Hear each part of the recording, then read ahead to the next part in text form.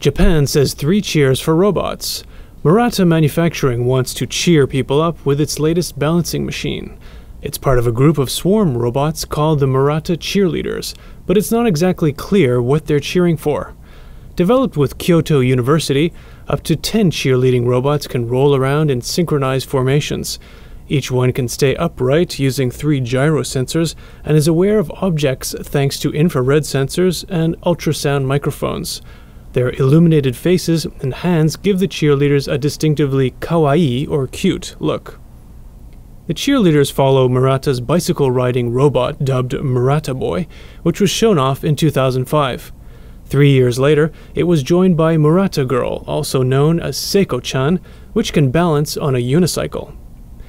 Murata has used the robots to showcase its engineering skills and to inspire kids to pursue science and technology. It says the control technology for the cheerleaders could be used to develop safer, more efficient vehicle transportation systems. In Tokyo, Tim Hornyak, IDG News Service.